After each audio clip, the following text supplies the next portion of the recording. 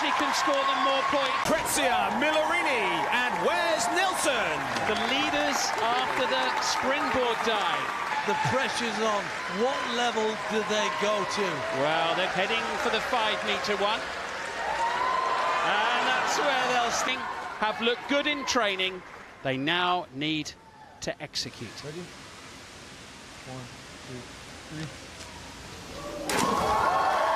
That's a difficult done right. Yeah, great effort. They were under pressure. They knew they had to bring something special out the bag. It's the score 49.5. That's a great score. Lucrezia Millarini and Wes Nelson.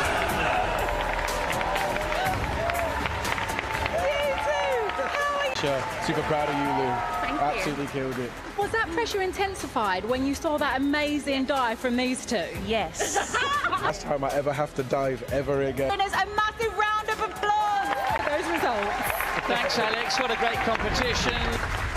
So Ryan and Chelsea have come top of the results table for the platform dive, but it wasn't quite enough to win the event. This was a competition of two halves, so let's take a look at the final combined leaderboard. Worthy winners there in Lucrezia and Wes. They amassed 102 points from their two dives and have gained six points in total.